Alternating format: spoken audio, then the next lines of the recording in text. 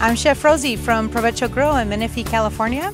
We're excited to be part of the Taste of the World with Temecula Rotary. So come by and say hello and see you there at the Taste of the World in Temecula.